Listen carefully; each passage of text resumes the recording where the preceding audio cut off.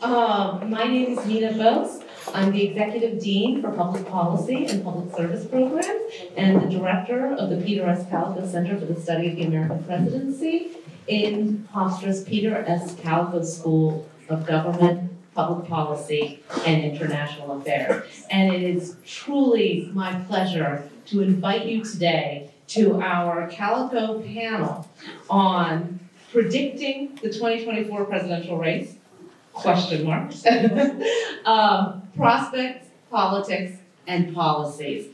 We have two distinguished speakers here today, our Kalikow Senior Presidential Fellows, Ari Fleischer and Phil Schiliro.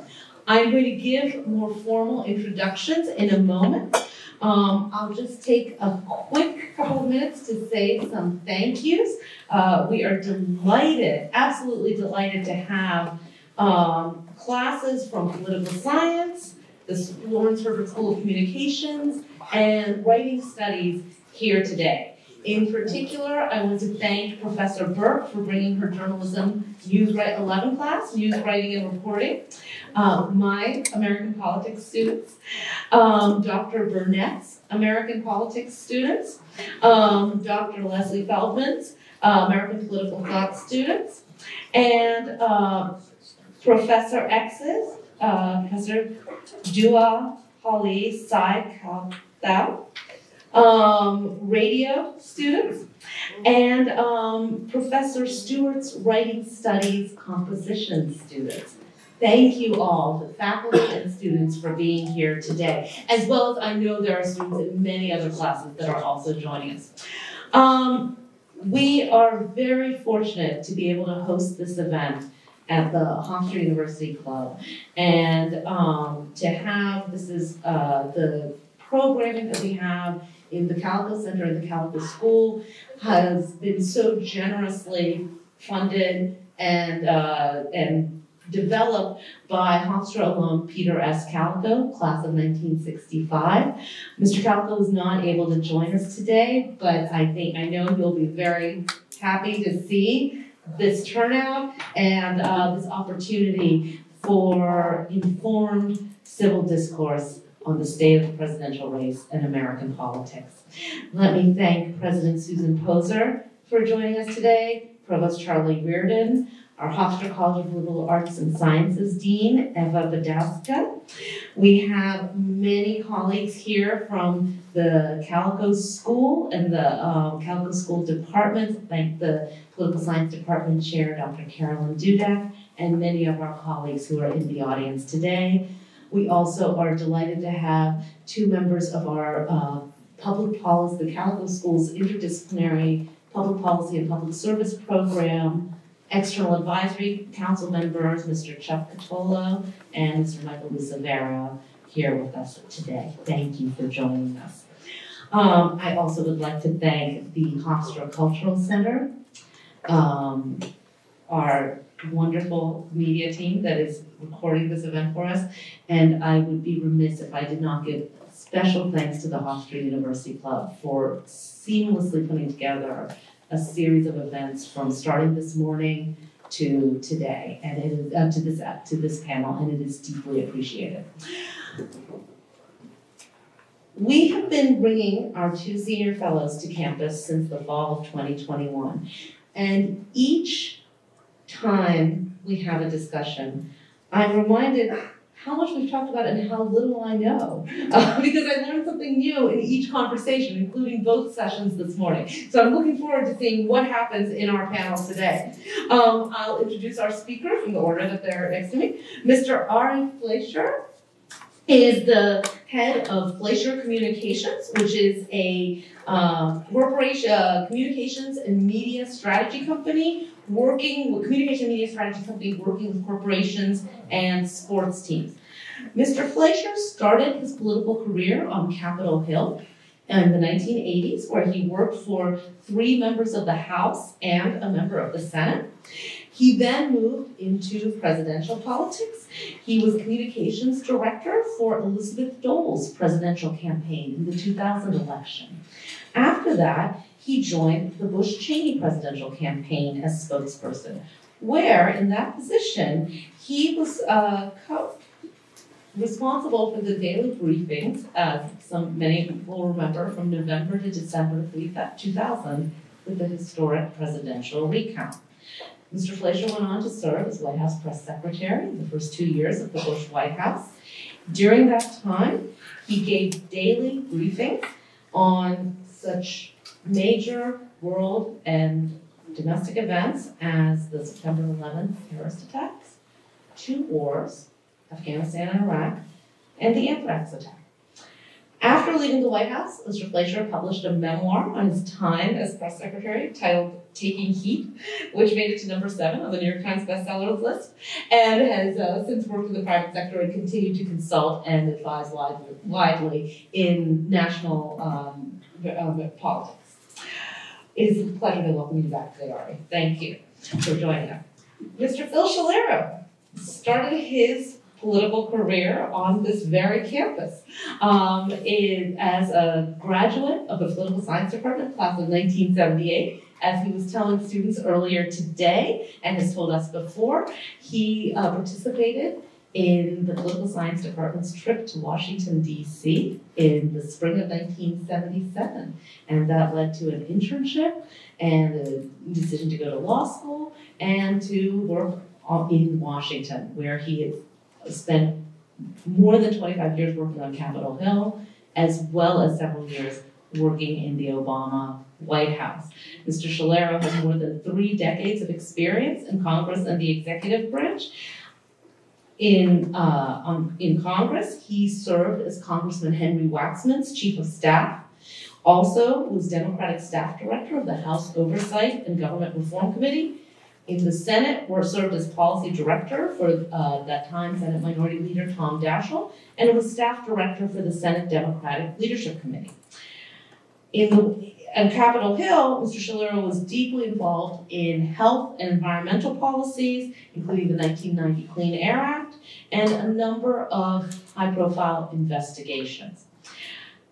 In 2009, Mr. Schiliro joined the Obama White House as Director of Legislative Affairs, went on to serve as Special Advisor to the President, and then as Advisor for the implementation of the Affordable Care Act in 2013, after overseeing, as President Obama's chief liaison to Congress, the passage of the Affordable Care Act in March of 2010, along with much other significant legislation during President Obama's first two years of office.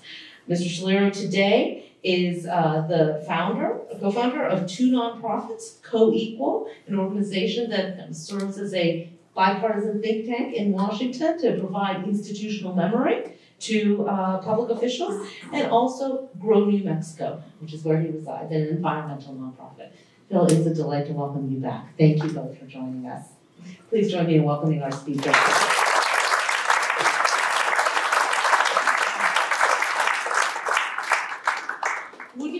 With uh, some panel discussion. I have a few questions for the speakers. I actually have many, but I will um, try to limit them to about the first. Uh, I'll kind of keep it to four or five, and then we will open this up for um, audience Q and A. So let us begin. I think we can do. We can speak from here, though. You're either of you is welcome to come up here as well. Why don't I come up here?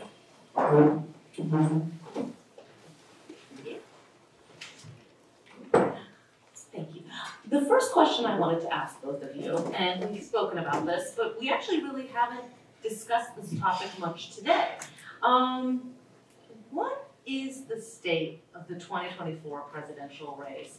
The day after the third Republican primary debate, and just a few days after a poll from the New York Times and Siena College uh, that was released over the weekend showing former President Donald Trump, the 45th president, leading the current president, Joe Biden, president, in five of six battleground states Arizona, Georgia, Michigan, uh, Nevada, and Pennsylvania. And in the sixth state, Wisconsin, uh, President Biden was leading this poll by about two percentage points. So we're just under a year from Election Day. Um, there is a lot to assess about public opinion and about the presidential candidates. I'll ask you both to begin with an assessment of where we are. All right. Well, thank you, Meena. Thank you very much for, for the introduction and for hosting today. Uh, President Poser, thanks to you. Uh, Provost Riordan, thank you as well. And thank you to Peter Kalikow. Um, I wish Peter were here today. He's a good man, and none of this would be possible without Peter. Um, you, you know, Meena, if, um, if you put a gun to my head and said, who is going to win the 2024 race, Joe Biden or Donald Trump? My answer would be shoot.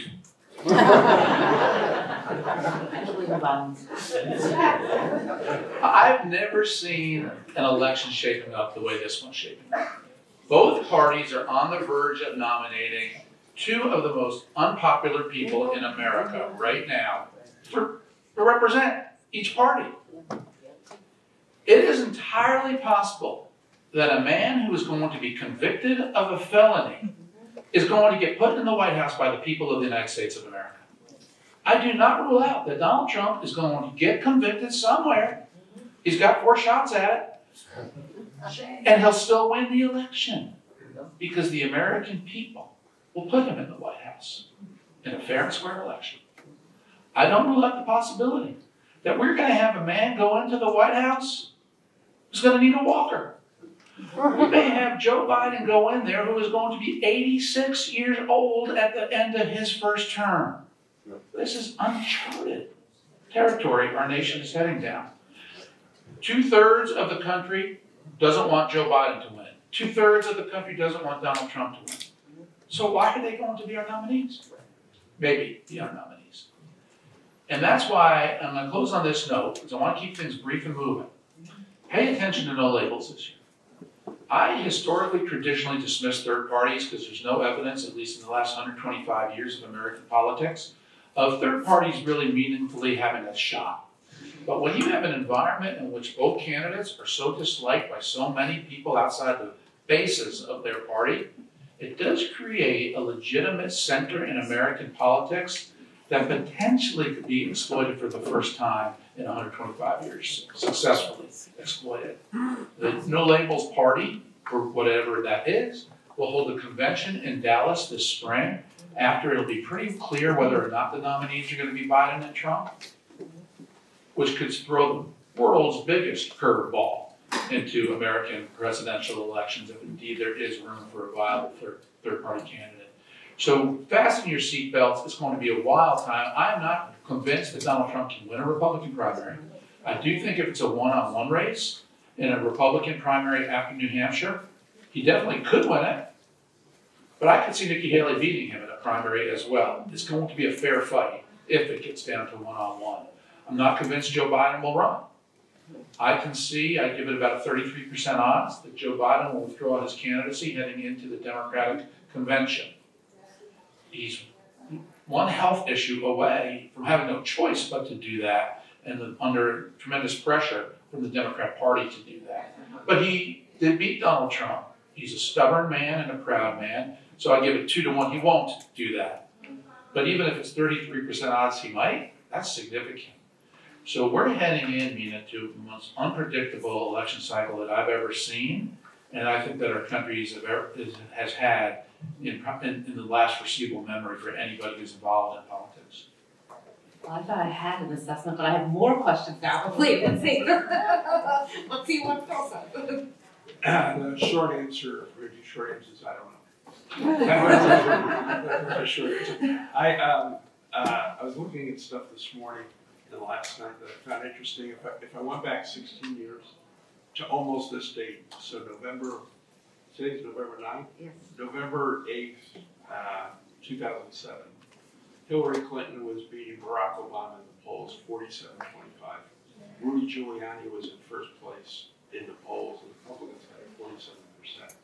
And it was going to be a toss up of what happened, and then 30, 35% of people said Barack Obama was too inexperienced to be president. As everybody here knows, Hillary Clinton did a run against Rudy Giuliani for president. So we have to take things with a grain of salt. Then I was thinking about last year when we were here, which was right after the election. But I remember the days leading up to the election. All the experts, all of them were saying Democrats could lose Arizona in the Senate. They could lose Georgia in the Senate. They could lose Nevada. They could lose New Hampshire. They could lose Pennsylvania. And some people were even saying we could lose the state of Washington, Patty Murray's race. Democrats won all those races, but you would have gotten really good odds that Democrats would at least lose two or three of them. And that was the day before. That was just a couple of days before.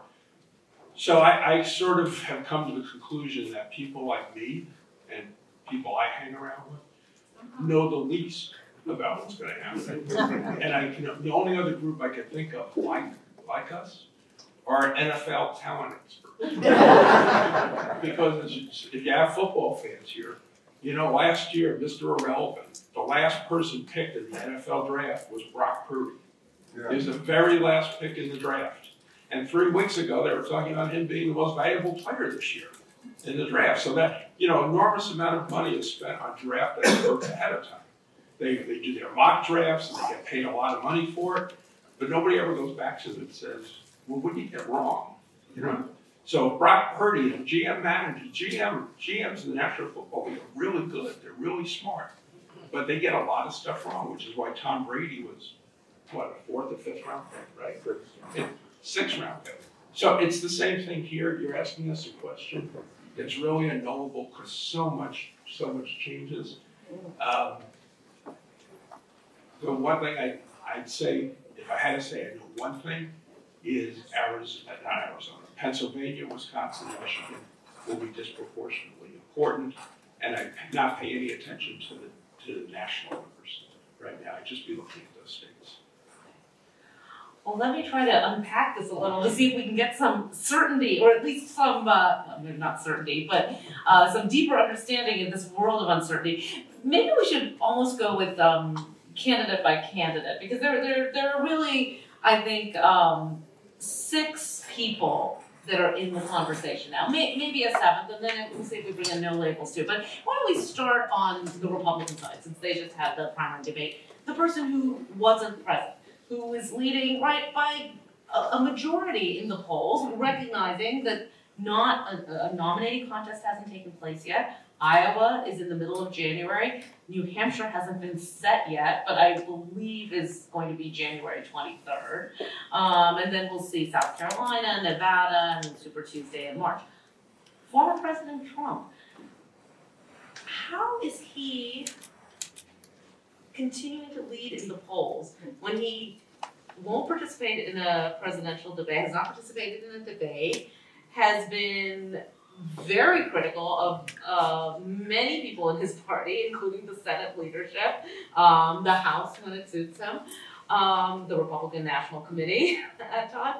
Um, how is what what are what explains former President Trump's standing in the polls, and what does that mean looking ahead to uh, to Iowa and New Hampshire? I actually think that's an easy answer. Okay. One, he's an outsider. He's an outsider at a time when a huge part of the Republican Party has deep questions about establishment Republicans and a lot of what I grew up involved in, involved with in politics, and thinks that Washington is broken and only a strong person can change Washington. The second part of that is, I would argue, his tweets aside, he had a very successful presidency policy wise. We were at peace. Russia didn't invade Ukraine. There was no war in the Middle East. Inflation was low. Unemployment was low. The southern border was relatively closed.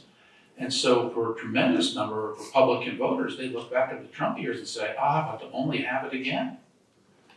And it, it, it amazes me that that is even news to in, inside the Republican Party that is so obvious that Republicans see that in Trump.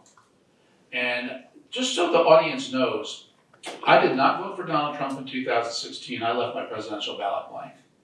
I mm-hmm. did vote for Donald Trump in 2020 based on what I thought he accomplished in his first term and based on the fact that I, I didn't want Joe Biden to win. I'm a Fox News contributor where I will regularly criticize Donald Trump if he does something wrong or praise him if he does something right. I'm neutral in the 2024 race as I look at all the different Republicans out there. But that's why Donald Trump runs so strong in a Republican primary. It's because, in my opinion, he's captured the mood of the modern Republicans and he had a successful first term. Successful term, yeah, right. Well, because there was no second. Oh, if, if there's a second. Well, a successful, Yeah. his, his term Right. was successful from a policy point of view. And, and it's interesting, Ari, you would call him an Trump an outsider, even though he was president for four years. Kind of the ultimate outsider becomes the ultimate insider. He sure was no insider, oh, Okay. I mean, it's, it's unusual to be able to do that. but that's, I think, part of his, his, who he is. You have any comments on the? I respectfully oh, Outstanding. disagree with a lot of what Mr. Fleischer said, even though I try to agree with him a lot of Remember, the times. question is, why is he winning the Republican primary, not the Democratic primary? He ain't winning that one. No, I, I understand that, but it was just, I, I have a different view of the success of this presidency because I think it was a policy disaster and a political disaster for the Republicans. So I think on the vote counts and then from a, a norm standpoint, I think it was bad. But I, I, this is what I'd say. We look at polls a lot, Mm-hmm. right? I think it's better sometimes to look at election results, right? So in the election this week, the theory was Democrats were gonna lose in Virginia. The Democrats have both houses in Virginia now. So they have the House of Delegates, they have the Senate. In Ohio, we had a vote in August to change the rules in Ohio to make it harder to pass an abortion referendum to go to sixty percent, and that lost with thirty-seven percent of the vote. And the referendum this week passed with about fifty-seven percent of the vote in Ohio. A very Republican uh, state, Kentucky, uh, the governor was reelected there. Um, not by a big margin, but by a healthy margin. When I look at what's happened over the last year, in a state, uh, or city like Jacksonville, Florida, first Democratic mayor in thirty years. If I look at Colorado Springs, Colorado, first Democratic mayor in forty years. If I look at special elections in Pennsylvania, New Hampshire, Democrats overperformed and they won. That doesn't mean that's gonna be the case next year. But when I'm looking at the difference between polls and election results, it's not that Democrats are winning everywhere. So, you know, they lost in Louisiana governorship, so that, that was a loss, but that's a very tough state. But I see that many more victories for Democrats versus where they're standing is in the polls. I don't know how that translates to next year, except to repeat I said before. I wouldn't pay attention to the national numbers. And I think Ari's right, if it gets down to a two-person race on the Republican side, it could be a very different, very different dynamic. So I want to actually pick up, I want to get back to the election results from Tuesday night in a moment. Um, but let me, but I want to actually pick up on this because it seems to me we're almost looking at two different worlds when we assess the Trump presidency. I mean, Art, you just said that for Republicans, this is no surprise, right? This, this seems almost intuitive, right? The assessment of Right. Trump. But, and I think, I think you wrote this, you've written this before, uh, didn't like the man, like the policies, right? Um, I, I think you announced that before the twenty twenty, right? That's been public statement. But, um, but Democrats, obviously, as Phil said, have a completely different assessment of the Trump presidency. So I don't know that we're gonna have any meeting of the minds. Maybe historians will down the road. I, I, I, I don't know, but it seems like the, the party divisions on, um, on issues ranging from just, I think, uh, on, uh, foreign, on taxes, on, uh, foreign policy in some areas, on, um, investigations, that they're just worlds apart. They're, the, the two parties seem very kind of calcified right now. And so, does that mean that twenty twenty-four is largely to be a get out the vote election? Which party does, I mean, to some degree it always is, but that, is there less room to move people across party lines? Yeah, I, I think so. I think this polarized era, that is the likelihood. Now, there doesn't have to be a meeting of the minds. There has to be an election. And let the majority prevail, let the winner win. That's, day Joe Biden won, the election was on a Tuesday last year, of course. But it took till Saturday until the networks, including Fox, called the election. And I remember live on Fox when the election was called saying, that as much as I'm a Republican, I'm an American first, and congratulations to President-elect Joe Biden. You don't have to have a meeting of the minds, but if Donald Trump wins, he will be our president, conviction or not. If Joe Biden wins, he will be our president. So you have to trust the people, you have to trust the election, you have to believe the election is fair, and if that's satisfied, Let the people decide. So it will be polarized though, and turnout is gonna be massive. There has been a change in politics where in the earlier era, in the Bush era, and calmer, more peaceful, more civilized era, and the Obama era, President Obama increased turnout above George Bush. It was a nice jump up from the, the Bush years than from the Clinton years. Bush increased it over Clinton, Obama increased it over Bush. But in the 2016 Trump-Hillary race, it surged, turnout surged. Same trend in 2020. And it's because Trump brings out so many new voters to politics who used to think nobody cared about them and their vote didn't matter. They surged for Donald Trump, particularly in rural areas. Trump also brought out huge numbers of people who hate him. And that's why turnout was massive. And I think we'll see a similar thing. But it, somebody who's worked on a lot of campaigns, and someone who's currently working on a Senate campaign in Pennsylvania, you've got to appeal to everybody. You've got to get basic turnout, you need massive turnout, but you also do have to target an admittedly smaller number of swing voters. But yeah, you better target them too, because there still is a group of undecided voters who are up for grabs. And a good campaign goes after all of them. Phil, any words on Um, Democrats? Did, well, not so much Democrats turning out the vote, I think that'll come. I, I think there's a bigger issue, um, and I wrote down a couple of quotes, and I'd be curious what Ari, but thinks about it, but I, I think it's also just goes to, do we think about this the same way we always did? Democrats versus Republicans. The, the first quote, I want to get it right, so I'll just read it, was by John Boehner, who said in 2018, there is no Republican Party. There's a Trump Party. The Republican Party is kind of taking a nap somewhere. And then more recently, a senior advisor to Donald Trump, you, uh, Boris Epshteyn. Epshteyn? Yes, I was with them last weekend. Yeah, his quote was, As a friend. if you look at the numbers, if you look at the interview, this is the Trump party, this is the MAGA party.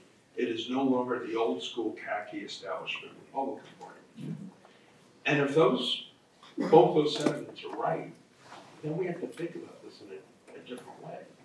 Because it, it, it's not like any election before. If, if the Republican Party is not the Republican Party it used to be, then where do some of those people go in twenty twenty-four? And to offset that, are there other people then that gravitate, if it's the Trump party, to him that haven't been here before? Right. I think that's the big question. And to put a point on that, here's the trend, and we're living through this time. It, it started about twenty years ago, but it's increased. The Democrats, which used to be the party of working class, blue collar, more rural Americans, poor, lower income Americans, is increasingly become the power of the party. The voters are making more than hundred thousand dollars a year, are college graduates. They've always been the party of postgraduate, but now the Democrats are winning college voters college educated voters. Republicans always want college educated voters. So you're having a switch of mostly suburban college educated former Republicans who are becoming Democrat, mostly out of revulsion to Donald Trump. Mm-hmm. But it's being met in the other direction too, which is why politics is always dynamic. You've got a huge swath of blue collar workers, lower income workers who are increasingly becoming Republican. Mitt Romney lost the vote of those who made less than thirty thousand dollars a year. Good old Mitt Romney. I mean, mm. just the nicest guy, establishment, polite as could be, a good man. Mitt Romney lost the vote of those making less than thirty thousand dollars a year by twenty-eight points. He got his clock cleaned among the new, new, newest people into the workplace. Donald Trump lost by only eight.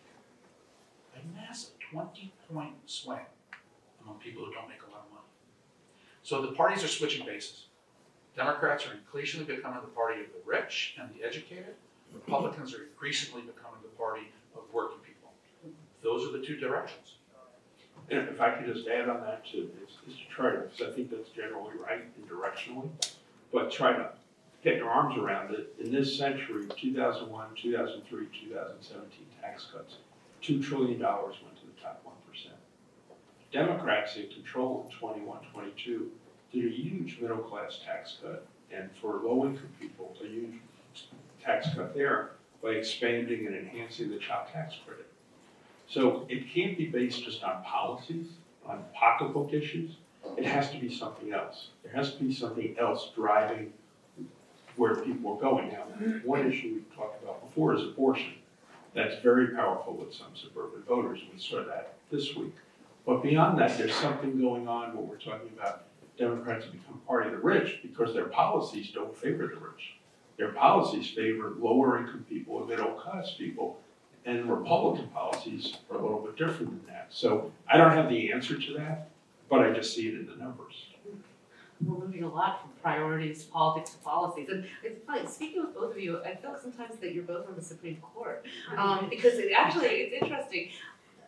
Chief Justice Roberts says, right, a lot of times the Supreme Court agrees, but everyone focuses on where they disagree. And we're seeing some interesting areas here, I think, of where both of what you said like to agree on kind of the importance of compromise, consensus building, democracy, um, the rule of law, but very different positions on the candidates and the policies. Uh, Right, so- but we're also talking about political shifts, Yeah, right? Right. Which is not a, just, it's just what's happening. It's just, do you understand why it's happening? And I don't. I, I I can't say I have a good explanation for it. Well, if we bring it back to the, to the candidates, we, we've talked about former President Trump. There were five people on the stage Tuesday evening in Miami. It- It seems, I think, reasonable to say, we, we could speak about each one, but former Governor Christie, Senator Scott, um, businessman Vivek Ramaswamy, it, it, it, seems like their, their numbers are in the single digits, right? Um, Nikki Haley's numbers actually also are, she's at eight point seven, but, uh, has had, um, has gotten a lot of, uh, I think, uh, built support after each, uh, each debate, including Tuesday night. So we have Governor DeSantis of Florida and former Governor, South Carolina Governor Nikki Haley. Is either one of them a potential, um, on a ticket with former President Trump? It seems impossible. Oh, with Donald Trump, I rule nothing out. I, I mean, if you, if you lose to Donald, if you go after Donald Trump and then you lose and, and you say enough flowery, nice, wonderful things about him, he'll just remember the flowery, nice, wonderful things. Ask Ted Cruz. Um, But I, I don't know that the question yet is running me, because there's still a presidential election to be had.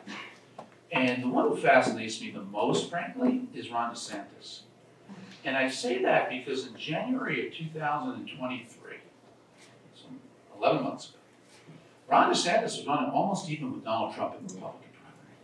Donald, I mean, Ron DeSantis has a record, especially inside Republican circles, as a man of tremendous character, strength, and accomplishment. But when he said he was going to do something, he took it on and he did it. Keeping Florida mostly open during COVID he just showed courage in executing his office in a way that really won the admiration of a lot of Republican primary voters. And then in January, Donald Trump relentlessly attacked Ron DeSantis. And DeSantis sat silent for months and just took the blows, took the blows, and went from almost being even with Trump to now being some 40 points down from Trump. The other reason I think DeSantis has not caught on, despite his admirable record, in my opinion. Politics is also part schmaltz.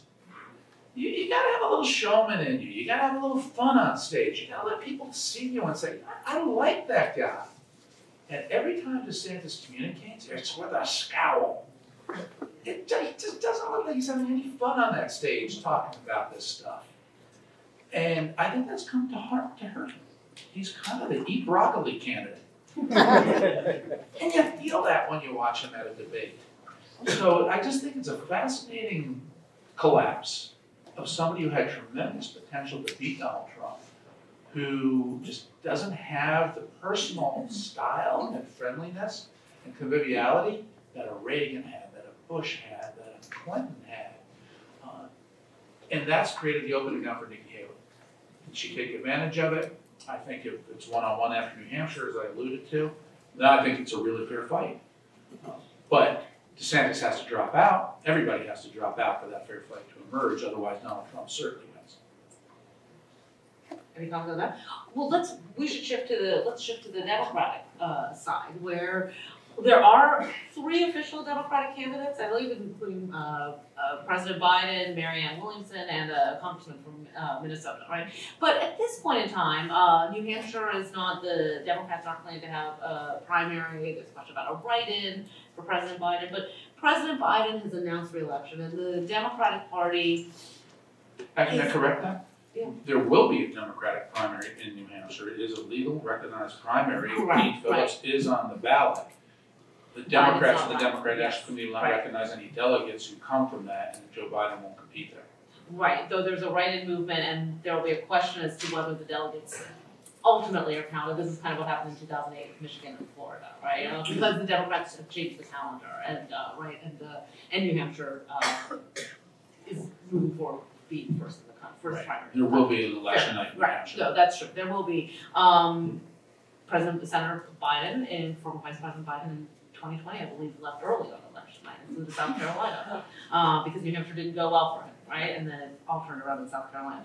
But look, if we focus on the Democrats, the Democratic Party is, I almost hesitate to say unified behind President Biden, but I think at least on the surface now, there is the Democratic Party is unified behind the president, but not necessarily enthusiastic and we've discussed over the course of today a little bit, uh, at the start of this session, um, concerns about the president's age. Um, will be eighty-one in a couple of weeks.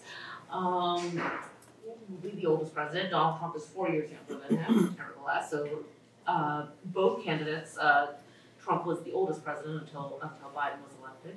Um, questions about energy, um, kind of ability to lead the country for the next four years, fair or not, no matter it seems like no matter what President Biden does as far as kind of uh, going on international trips, coming back, going on the uh, runs he takes, no matter what, there are questions about how what is that is there a way, I guess Phil, this is probably a question for you, is there a way for the White House to address these concerns beyond kind of governance and moving forward? And then, and then I want to turn to the question of, will there, could there potentially be a shift on that Democratic side? To, to, to, just to that question. Yeah, yeah. I just want to know if there's any way, to start with very simply, is there a way for the Biden campaign, I put that up, House, to address these concerns, continuing concerns about the president's age, health, energy, ability to uh, address the And I'll start using a skateboard around the White White House. And I do that, wear his hat backwards. Um, I, I, here, here, here's the dynamic, I think, on the Democratic side right now. Democrats look at Joe Biden and say, during his administration, fourteen million jobs have been created. During the Trump administration, almost two million jobs are lost. And when you ask people, who's been better for the economy, people say Donald Trump. The Democrats look at those numbers and say, wait a second, under the Biden administration, fourteen million jobs were created, two million were lost under Trump. It, it doesn't translate out. Democrats will say, people wanted bipartisan legislation. Joe Biden led the way on CHIPS legislation, on other legislation that was strongly bipartisan, that's good for the country. Joe Biden did things, in investments that were really important for the country. They, they, I'm talking about the party, writ large right now. They're frustrated that that doesn't translate that those, those numbers don't translate out. Um, when it comes to the question, no one can do any bad, how old you are, there's nothing you do, there's no focus group you can do on that, right? You're, you're the age you are, he's in remarkably good health for somebody fifteen years younger, but his age is, is the age. Democrats, I think, remember very clearly the nineteen eighty primary when Ted Kennedy ran against Jimmy Carter. And that didn't turn out so well. So there's some scar tissue there. And they don't think he's done anything that would justify not having him lead the party again, especially since he won uh, in 2020. Remember, Donald Trump has lost the popular vote twice, two elections in a row. So Democrats look at that and say, okay, it's not perfect because of the age issue, but he's a credible candidate with a great record, and once we get into the campaign, it'll, it'll look different. I think that's the way most people in the party might, it. I want to jump in on for one thing, what can the, what can the White House do? Yeah. They've tried to do one thing, and I want to shine a light on this. You notice that President Biden no longer walks up those majestic grand stairs to board Air Force One. Where you climb those stairs, you turn, you wave a salute. They haven't gone down the lower stairs. Just so everybody knows, once you take those lower stairs into the belly of Air Force One, there's no elevator.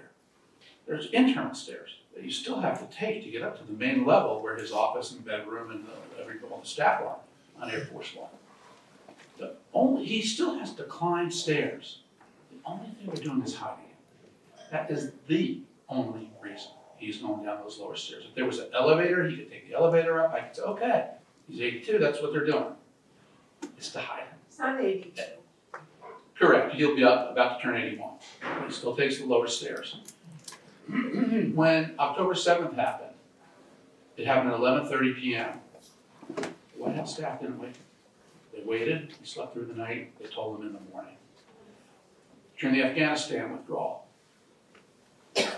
he said afterwards, he was never briefed, never told that there was an intermediary option of keeping two thousand or three thousand, a much smaller number of Marines and soldiers in Afghanistan. He said nobody ever briefed him on that. He had to be corrected by General Milley, no fan of Republicans, who said he was briefed on that. He didn't remember. These are legitimate issues when considering what the White House has to deal with and how they handle the fact that we have the oldest president, Joe Biden. Maybe if we can expand this a little bit beyond kind of the individuals and, and the policies, which I want to do a lot of follow-ups on those, but let me to stay on the focus of the, the panel topic of the presidential race. Um, the New York Times Siena College poll from last week, earlier this week, said that, uh, showed that a remarkable number of young voters, eighteen to twenty-nine and thirty to forty-four, um, had an interest in a candidate other than one of the two major parties, particularly Robert Kennedy, Robert. Kennedy Jr., who's running as an independent now, right, was running as a Democrat uh, before. The, um, we know, we teach this, all of us in our American politics classes, there are structural reasons why there's a two-party system in the United States. It's very hard for small parties to get, uh, to get a seat when you have plurality elections and winner take all, right? So we don't have proportional representation, we don't have runoff elections for the most part in, uh, in national elections. So this, in some ways, it seems as though, but we know that third parties, minor parties have a strong tradition in American politics. They don't win typically, but they can be spoilers. And, or, or maybe that's not a fair word, but they can have an influence. Think about Ralph Nader in two thousand, Ross Perot, 1992, 1996, um, the Green Party and, and the Libertarian Party in twenty sixteen. Um, what, what explains, would you say, particularly among younger voters, especially I think it was a third of eighteen to twenty-nine year olds, um, slightly less than that for, uh, thirty to forty-four, this interest, it's come up in my class, I, my students will, we've had this discussion. What's this interest in Robert Kennedy, who's a young, who's not a young candidate? And um, what role can, what, what role might a minor party or this no labels organization, if they move forward in the spring, have in the election? Yeah, um, a cou- a couple things. I, I, mentioned football before about Brock Purdy. My, my brother Michael reminds me that in football, the most popular quarterback in any city is the backup quarterback, right? Whoever's playing, if they're not playing well, everybody says, we want to get that guy a chance. You're always looking for something different? And so I think you, you get that in, in both, both parties right now. I, I'd say, um, I, you know, work closely with, with President Biden when he was vice president. And he would often say, don't compare me to the almighty, compare me to the other guy. And when you get in that situation where don't compare me to, to some ideal, some abstract, you, want somebody, in this case, who's forty-five years old, really smart, has a lot of integrity, could do this, this, this. Just compare me who I'm gonna be running against. And that, there's a lot of wisdom in that, and just a lot of truth in it. So I, I get the urge, isn't there anybody else? I thought Ari made a good case before, when he was talking about that. I get, I get that urge. I don't think that's gonna be the reality when we get to next year.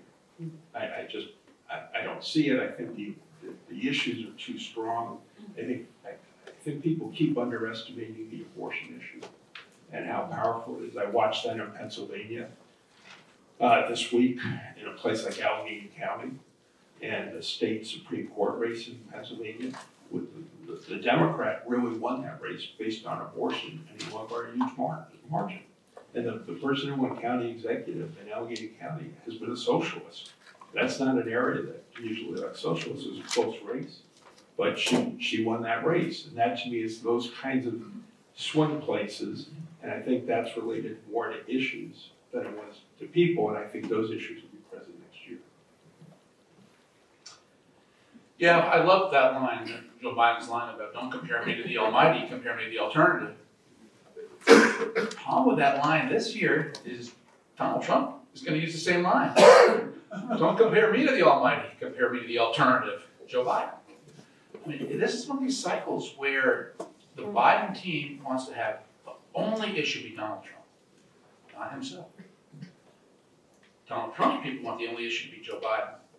The Problem is Donald Trump also wants Donald Trump to be the only issue. And that often plays into the Democrats' hands. Um, But this is also why I said earlier that this is gonna be the most unpredictable dynamic, because you have the two parties seemingly nominating such unpopular people.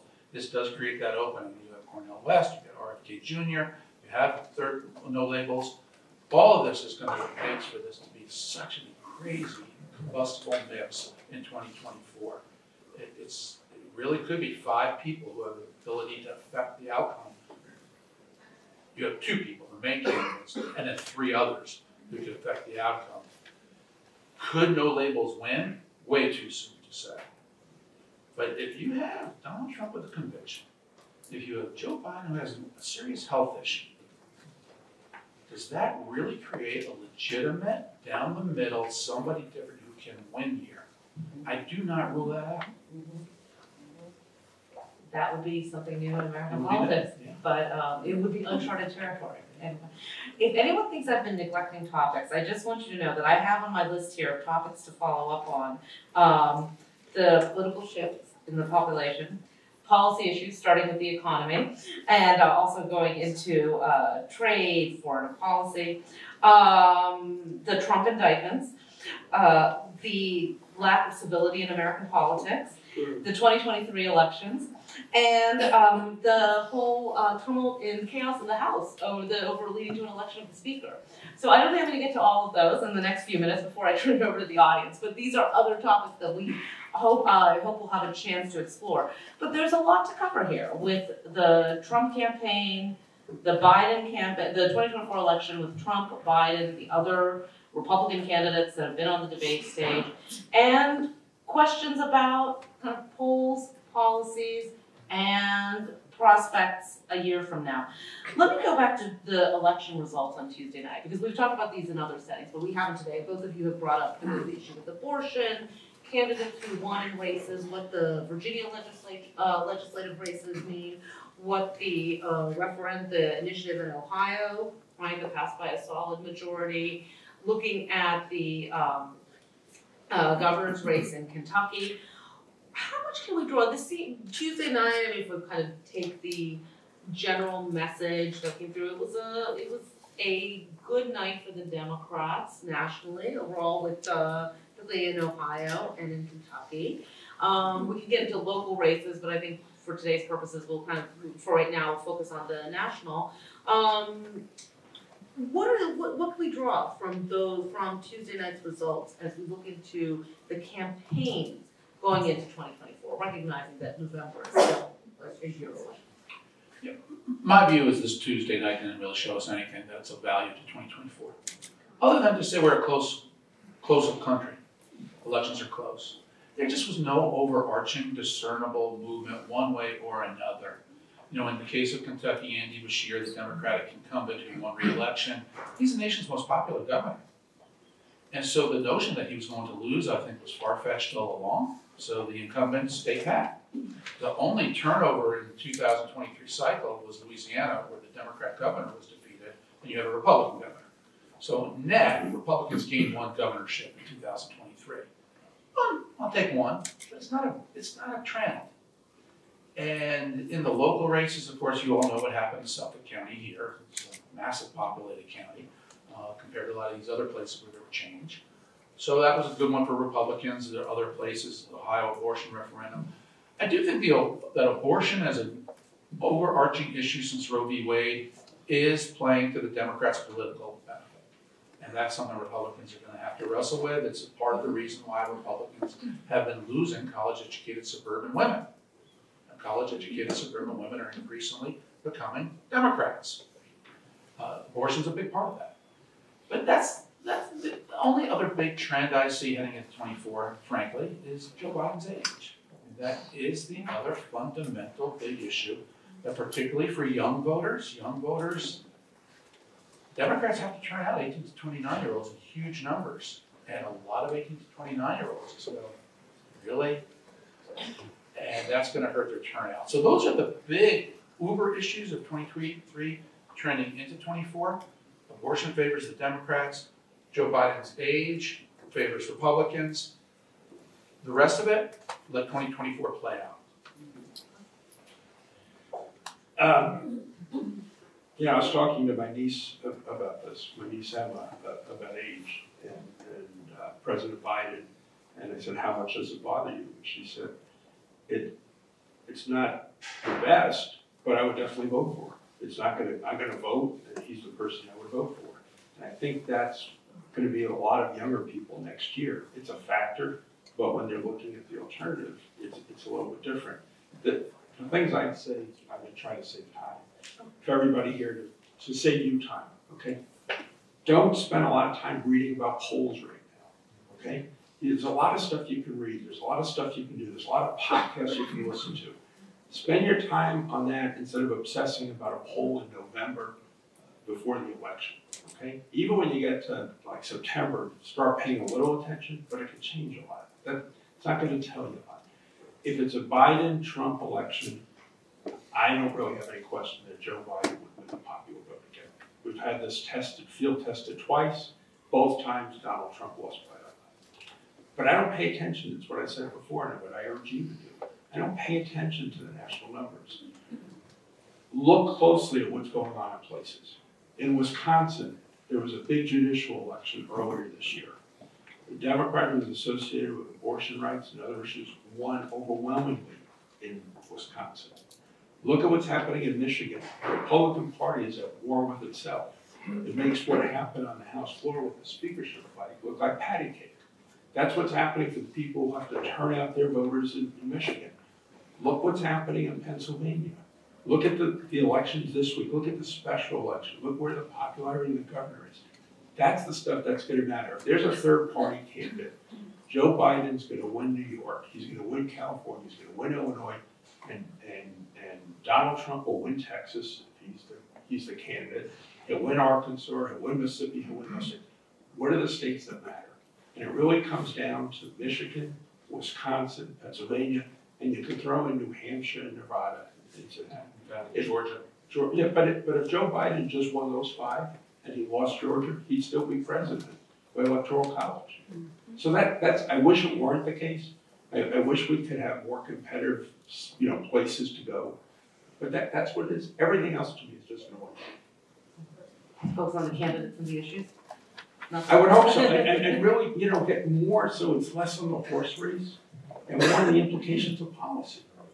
Because we have big issues, that the, the decisions we have to make about Ukraine are really important policy questions about the United States' role in the world. The decisions we make about climate change, it's not a myth, it's not abstract, it's happening. Folks read the, the studies this week about, uh, about ice, um, ice sheets and what's happening to them that really matters. And, and so we have a lot of issues like that. Social security, there are easy ways to shore up the system. Getting to those issues really matters. So I wish there was less on the political side, the horse race side, and more on really important. I'm gonna open it up in just a, a moment, I we'll have a microphone, and we'll try to, we'll try to, uh, we have several classes here, so we're gonna try to do student questions first. Let me just conclude with one question that deals with structure and not individuals. There was a, a, as we know, there was a, a, there were several issues in twenty twenty after the election was called with acceptance of the legitimacy of the election results, and this continues to be an issue today, that came up in the um, uh, the, uh, race for the Speaker of the House just a couple of weeks ago. do both of you have concerns about challenges to election results in twenty twenty-four? Now, Congress did pass a revision last November after the midterms to try to clarify that the vice president cannot, um, certify the vote, but cannot change, um, cannot, uh, uh, recall the state votes, which had been suggested for Vice President Pence, uh, in 2021, and he didn't do that. Do you have concerns and do you see, is there something that can be done to address those concerns in advance of election day, twenty, uh, twenty twenty-four? I'll always have concerns. Uh, having survived Bush v. Gore in 2000, where we won Florida by 364 votes. Yeah, close elections give the other side a legitimate reason to say, wait a minute, this went wrong, that went wrong. And when you have tens of millions of ballots counted, I assure you, some of them are wrong. And so the, the best thing is for either candidate to win by a sizable majority. This is what assures we don't have too many of these fights, because even as you were talking about in, in North Castle, the town supervisor race has been settled by one vote. Well, if you're on the other side of that one vote, I can guarantee you, you're gonna find an absentee ballot that shouldn't count, right? Somebody's gonna have circled something wrong. And so you can make a fight out of a close election. Um, I don't think systemically there is anything wrong with America's democracy and our systems. I do think that in the case of COVID and how we went to extraordinary emergency steps during COVID, there was a tilt, particularly in where uh, ballot boxes, the ones you drop your ballots off, were placed. They were placed predominantly in Democratic voting areas. They were not placed fairly 50-50 across America. And that's a problem. But I have faith in our institutions, I have faith in the elections, and close elections will always bring out the other side saying somebody did something wrong. Stacey Abrams, of course, did that she lost in Georgia. Democrats backed her up and said the Georgia election was stolen, their words. And I will always remember 2004, Ohio was very close between Bush and John Kerry, and a number of House Democrats objected to the votes in Ohio and tried to overthrow the election. They were defeated, they wasn't allowed, they, were, they weren't, didn't have sufficient votes to challenge Ohio, but they tried, a small number of them. So I'm for big election wins, not small. If that can happen, okay. I, I think, um, when it comes to this question about democracy and health elections, we don't have a cold, we have pneumonia. And the best manifestation of that is what happened on January sixth. It's never happened before. I, I hate to keep going back to sports analogies, but we just had a World Series. It wasn't between the Phillies and the Astros. They lost in their championship series. They didn't contest the results. They lost, and then we had a World Series of the teams that won. In American politics, that's always how it's been. Until the aberrational and, and abnormal events between Election Day in 2020 and January 6th, which resulted in an armed insurrection against the United States. And, and for, this is not a partisan statement. I'd encourage everybody to read Liz Cheney's comments on this. Go, Liz Cheney has talked a lot about this, about the threat. Look at one of the most conservative judges in the country, Judge Michael Luttig, and the clear and present danger to American democracy. His, you know, there's a phrase, your hair is on fire. He, he's been a Republican his whole life. He's been the idol of scores of, of Republican lawyers and other judges. Ted Cruz clerked for him. He thinks we're just on the precipice to fall. And so if everybody doesn't come together and say the results are the results, and you can't just make up stuff. Because anybody can make up stuff. You can't make up stuff. Our democracy won't survive the way we. So I, I'm very concerned on, on this question. I think what they did on the Electoral Count Act is important, but I think it goes beyond that. And I, and thankfully, there are a good number of Republicans, including Mitt Romney and, and maybe led by Mitt Romney and Liz Cheney, who understand the danger and are talking about it. But I think that's a civic responsibility for everybody. Not a partisan issue, it's just the health of our democracy. Thank you both. Let's open this up for questions. Um, students, if you want to raise your hand, we're gonna bring, oh, uh, we're we're gonna line up, is that, uh, yeah, that's fine? Okay, let's have some, uh, let's try to get students over here. If you could just state your name and your major, that would be great. Okay, we're gonna bring people on up right now, please. It's good to have you all here. Um, Michael Richardson, I'm a senior journalism major here at school, and you all, you all are terrific. Here's my question. How much of a policy-focused election do you see the twenty twenty-four race ultimately be? I, I think it's, uh, for a lot of the reasons Ari said, I said today, I think it's gonna be less on policy, more on personalities and other intangibles. I think there'll be intent to make it about, you know, some big policy questions, but I, I think it's gonna end up being different than that. But I, with the exception of abortion, I think, I think abortion will be a driving.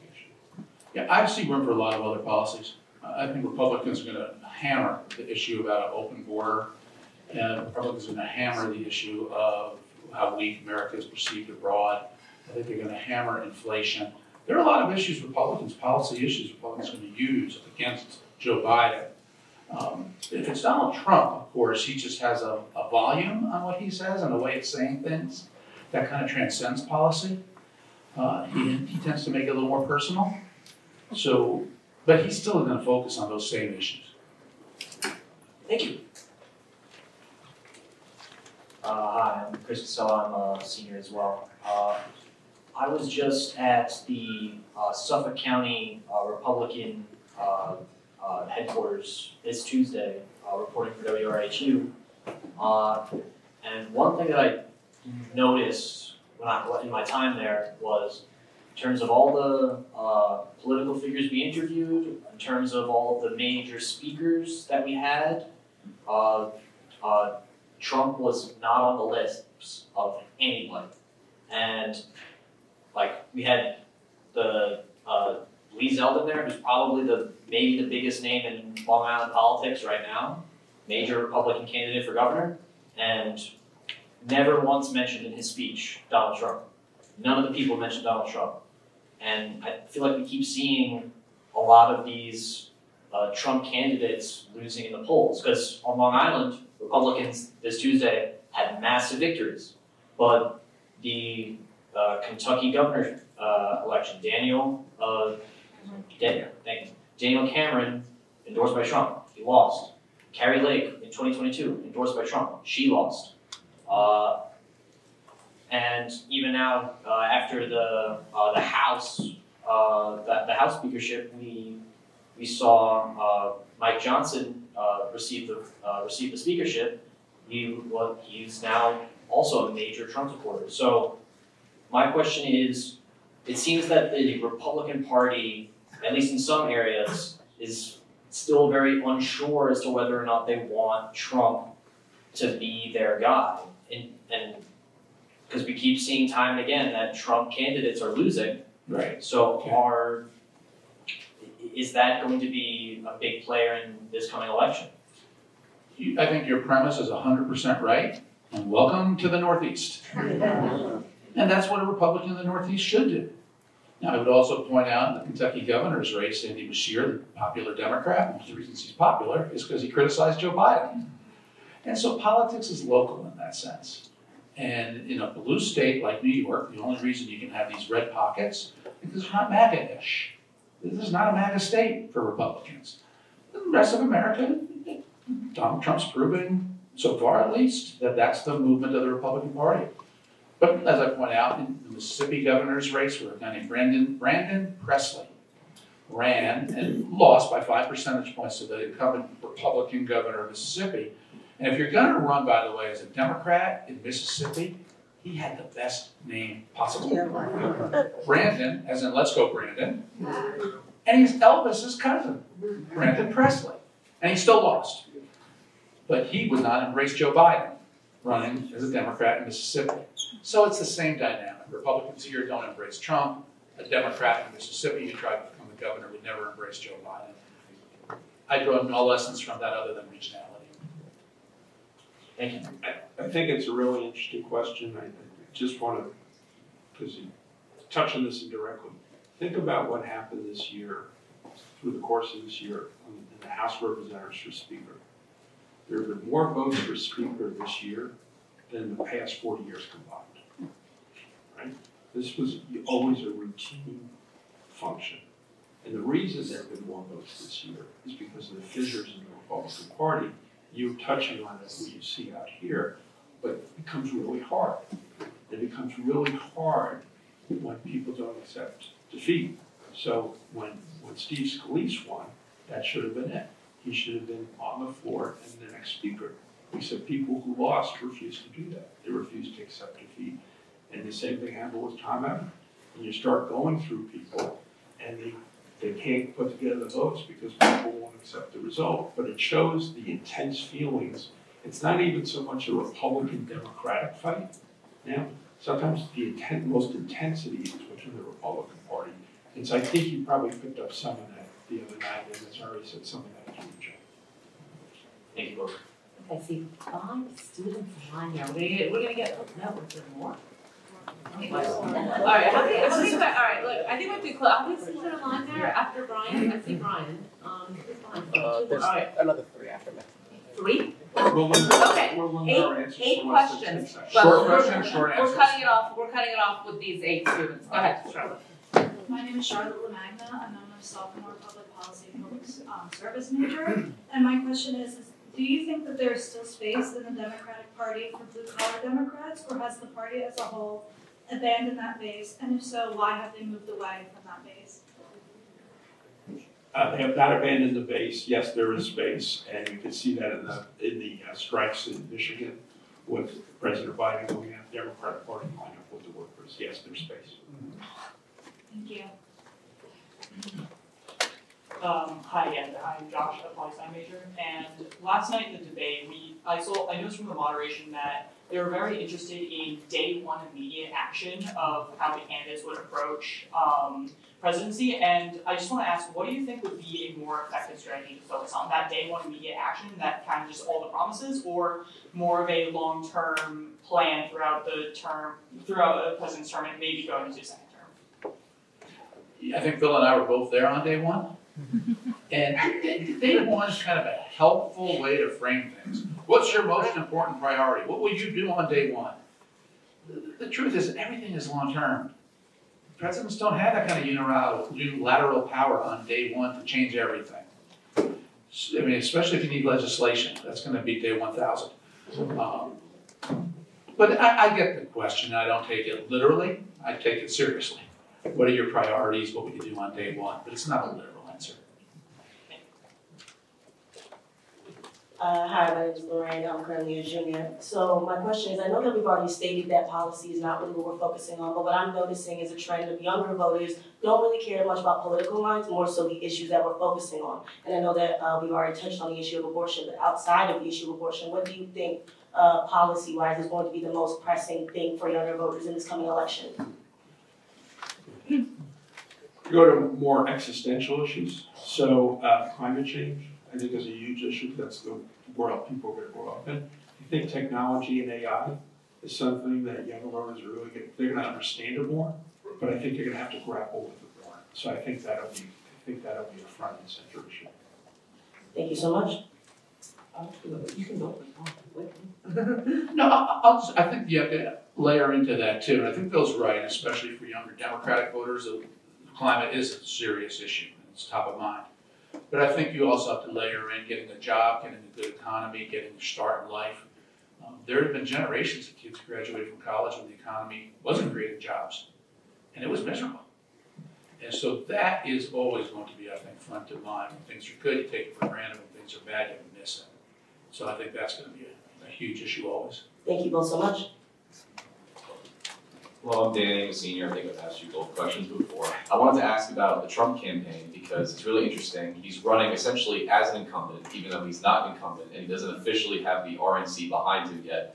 What have you noticed that he's doing differently this time around that's clearly working due to his poll lead in the polls and the fact that he's not attending debates, and he's still the perennial frontrunner?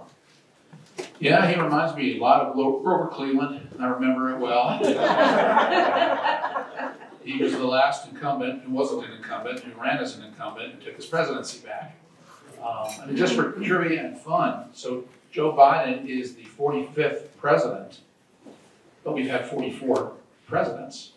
Because Grover Cleveland, Donald Trump's trying to pull a Grover Cleveland. Cleveland won, he was defeated, he came back and defeated the guy who beat him, which is what Trump's trying to do to Biden. Um, what Trump's doing, what was staying away. By not debating Donald Trump is securing, giving himself the best chance to win the primary. By hammering Ron DeSantis when DeSantis didn't fire back, really smart of Donald Trump. Um, The way I look at the presidential, the Republican primary, it's like your NCAA bracket. You know, on one side of the basketball bracket, it already says Donald Trump is going to the Final Four. There's no other teams he has to play. He's in the Final Four. He's placed in the Final Four in the beginning of the bracket. But on the other side of the bracket, you've got all these other Republicans. You know, Doug Burgum, Asa Hutchinson, Chris Christie, name it. They're trying to keep moving up the bracket to see who the one is who gets to be in the champ game against Donald Trump. That's smart of Trump, politically smart of Trump. What I don't like about it is I think it gives Joe Biden an excuse to miss the debates next fall. Because if I'm Biden, first of all, I think Biden's White House does not want him on a stage for two hours unscripted. And then if you're Joe Biden, what you'll say on principle is, well, Donald Trump didn't debate, and Donald Trump's an election denier and a threat to democracy. I'm not gonna share the stage with him. Why would I elevate him? He did the same thing, so you can't say it's wrong. So I think Trump's helping himself short term, but giving Biden an excuse longer term. Hmm. Okay. Thank you. All right, I think it's interesting you brought up uh, Grover Cleveland, uh, because it wasn't in eighteen eighty-eight, until 2000, 1880, it was the last time there was a conflict between the popular vote and the electoral college vote, and you were there for two thousand. That that was eighteen, I knew it happened in eighteen seventy-six. Yeah, no, eighteen eighty-eight, it was when Benjamin Harrison won. And then Cleveland came back, so he was booked, he ran three times. but- So I was fifteen years old. I remember going on Twitter and not knowing how to spell, spell Grover. Uh, Hi, my name is Brian, I'm a physical science major. Um, it's kind of, a- not all talk, but, uh, Governor Gavin Newsom, he's been raising a lot of money recently, and he went to China recently to talk about climate change stuff, and while he was there, he tackled a small child in that video. Um, so if Joe Biden doesn't run or something happens to him, do you think it's possible that he might jump in, or do you think it's gonna have to be another Democrat? Or, yeah, dem- another Democrat other than Yeah. Joe I- Biden? I, I, I think Joe Biden is gonna run, there's no indication he's not. If he did it, I think a lot of people would, would jump in. I mean, a lot of people are saying, look, if he doesn't run, and Gretchen, Gretchen Whitmer ran, she would Michigan, she would Wisconsin, she would Pennsylvania. She just has to pick up one or two others, and she's done. People make the case for some other, other folks, like Andy Beshear in Kentucky, given his, his race. But I think he probably would get in, but who knows? You know, I think. Can you have a good chance of getting the nomination? I- It's, it's just impossible. I mean, I can make up an answer, but I have no idea. That's right, thank you. Thank you. Thank you for not giving an answer. Hi, um, I'm, I'm Michael, I'm a junior here, um, so it's a little bit off, off topic, but, but, um, if we do, do have a, a Republican win the next election, uh, how do you think that, that would affect, uh, project twenty twenty-five? Depends who the Republican is. I think if Nikki Haley Mm-hmm. wins in twenty twenty-four, we're gonna go back to a typical era of politics Mhm. where if she's doing well and if the economy's good, it'll give momentum to the Republicans and they might have a good interim couple of years. If it's Donald Trump, I suspect the same pattern will happen, where Trump brings out so many people, and that's why he won in twenty twenty-four, but then Democrats come roaring back in twenty-five and twenty-six. Um, I think it's really interesting, um, when we try to project out where things are gonna be. And, and I think if you ask most pundits right now, and this, this would be an extraordinary situation if, uh, Donald Trump won, but Democrats won the House Oh, uh, and Republicans won the Senate. Right. yeah. That, that's not what happens in elections. It just, it just doesn't go that way. But I think most pundits would say right now, Democrats are in position to get back the House and Republicans are in position to get back the Senate and the presidency's a toss-up. Right, right. Thank you. Hello, my question is, How do you feel that the polarization in the country would change if former President Trump and President Biden treat each other differently on a public stage? Can you just tell us what you mean by differently? What are you, more civil. More, be- okay, a better. A better word, thank you. That's why you're there and I'm here. An excellent question. Yeah, I think it's more likely that Elvis is gonna come alive, or space martians are gonna come walking on the stage, but it's not happening. It's just not who these guys are. Um, look, when George Bush hugged Michelle Obama, I thought that sent a great signal about our country. It was a shame it had to take place at a funeral, where people see that, for people who are out of office, because maybe we're at a stage now where you can only do that if you're out of office. Because when Chris Christie hugged Barack Obama, it was used against Chris Christie when Christie ran. Uh, but I'm old school like that. I prefer my politics civil. So I'm afraid to say, i- i- if they take the stage, they're coming out the same way they are right now. Thank you. Of you? That's okay. Thank you. We're at Hi, my name is Amelia. I'm a communications major here uh, at the comm school. Um, so you touched upon about RFK Jr. and third parties a little bit at the beginning of this lecture, and it reminded me of the 1912 presidential election. And you can correct me if I'm wrong, where Teddy Roosevelt switched from being a Republican into the Progressive Party, thus maybe taking away votes from the Republicans. Can you see something similar happening if RFK Jr. or any third party candidate um, increases in popularity? I'm gonna stick with my same answer, I don't know. It's not, it's not knowable, I don't think a third party candidate will be a significant factor uh, based on the last fifty years in twenty twenty-four, but it's, but it's possible. I think in some ways, um, Republicans are more worried about Kennedy now running in the way he's running, that he can take away votes from, from Trump more than the damage he'll do it again. We have to look at it state by state. So if you can show me that he's really popular in a key state, that might make a difference. Thank you. So we're actually, we have about five minutes left. I think rather than open it up, because I know it's terrible when people line up and they can't ask, let me just follow up on two of the questions that I think we, we had, uh, we would have done follow-ups on. Um, the question about if Biden doesn't run and if, if Governor Newsom would run, or who else would enter the way, so feel for you. Uh, obviously, Vice President Harris would be the logical choice. Um, but there have been concerns expressed within the Democratic Party about uh, if Biden, if President Biden didn't run, if like, would Vice President Harris and then the same be able to unify the Democratic Party? What are your thoughts on the kind of intra-party dynamics? Right, I mean, this is a tough question, right? But what, um, how does the Democratic Party navigate? But uh, Meena keeps trying to get me to answer hypotheticals. That I, I don't. You're on camera. I, I, I don't see a lot of, um, I, I don't see a lot of value in that, because I don't know how to evaluate the, the hypothetical. If, under yours, if, if you decide not to run, I think it's gonna be, you know, five, six, seven people get in. And then you, you see who can start putting together votes really quickly, and how that dynamic plays out. But there's so many variables that I think at this point it's just not productive to, to do it. It's too much guesswork. May I, may I play on that one? Good. Uh, If Joe Biden drops out, my bet is he'll do it right before the convention. I don't see him doing it in January, February, March. It'd be just too much of a shock to the system. And I think he would want to engineer it so it went to his vice president. And the best way to engineer that would be drop out right before the convention, and then you basically challenge the Democrat superdelegates at the convention to say, are you gonna vote against the sitting vice president? Though I don't see it going to primary states to settle. I think it becomes a power move inside the Democratic National Committee. And that will favor Kamala Harris.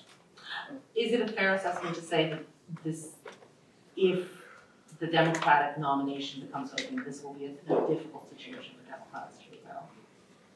I'm gonna give you a, um, because these are hypotheticals, want to, I think it'll be a very healthy situation. I think it'll be a very good, good situation for that to happen, to be an area of, of views. I think that the one thing on the, that I'm curious about, what our, what Ari just said, is I just watched um, how hard it was for Mike Pence to gain traction as a presidential candidate. And I don't know if we've reached a point now where, whether it's a sitting vice president or former vice president, less deference is given. I, I, I just don't know. Um, yes, well, all right, I'll, I'll let her, can you come up here then? Okay, it has to be quick though. I was gonna ask about civility and technology, but I'll defer to you. Professor X here. Thank you to my students for asking such good questions. Um, I'm just wondering if both of you could maybe comment on your ideas for VP. Thoughts about who the VP might be.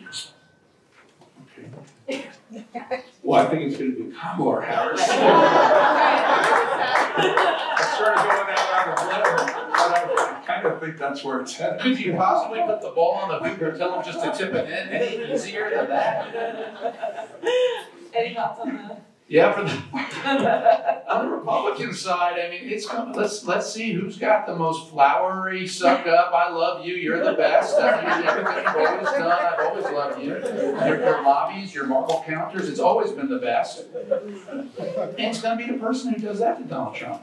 It, it is not gonna be a person who elector, there's no electorally helping him. He is either gonna win or lose on his own. The vice president will not deliver anything. Um, But I do think he's gonna look for somebody who is gonna be that type of loyalist person. And right, let me, I can squeeze in, thanks, that was a good question. Let me conclude with a question about civility and technology, because this question came up in, uh, students here talked throughout the day, the need for more civility in politics. We've also talked a lot about technology and social media, and it seems to me that there's, there's a link here. I'm not sure how we address it, but social media has fostered this ability to speak quickly, to add to comment based on emotion, and has contributed to not the sole cause for its decline. How can we make, how can we improve the state of politics? One minute each. Uh, we talked about this before. I- fundamentally, I think the incentives and disincentives are misaligned right now. So, um, being rude, not being civil, is a moneymaker. People can make money all different ways doing it. And there are very few incentives in the system now to be sort of traditional, to be civil, to work things out, to compromise. So we have to figure out how to change, and it's not gonna be regulation, but how do you, how do you change that? How do you change those incentives? I don't say this is a partisan matter, it's just a, it just was my experience last year. Last October, I drove my, last September, I drove my daughter's car from New Mexico to Washington DC. And I didn't have any books on tape or anything like that, and I just put on AM stations and I put it on scan. And almost the entire way it was talk radio. And it was talk radio talking about the Biden crime family or this or that, but all for two days. And you'd say, well, what are you doing, an experiment on yourself? I was really interested in what, what people hear. There's no counter to that really on the Democratic side. Democrats have been trying to figure it out for a long time. They'll never figure it out. But the, there's, th- those radio stations are moneymakers. They're, they're, they're not, they're, they're, these are not non-for-profit things. And for members of Congress who want to advance, being harsh, being rude, being out there pushing the envelope brings attention. So- And that's why a relatively small number of people get so much attention. You should have put it on the FM dial. Nothing but country music.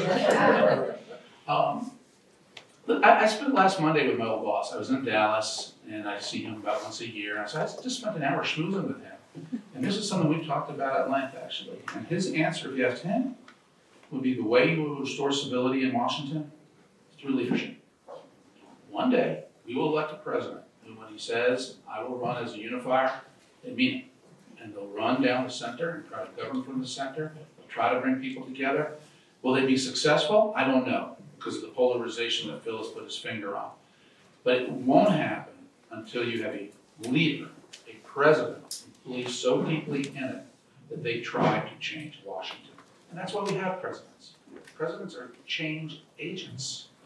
So it's not going to happen in the twenty-four cycle with Biden and Trump on the ballot. We'll have continuation of this unfortunate polarization that's been taking place in sixteen. But nations go in phases. It's like, you know, when I was a little kid and I'm scared about something, my mother would say, you're going through a phase, you'll grow out of it. Nations go through phases that we grow out of too. It'll be leadership. A president will one day get elected, we're all gonna say, where have you been? I've been waiting for that. On that note, please join me in thanking both our speakers.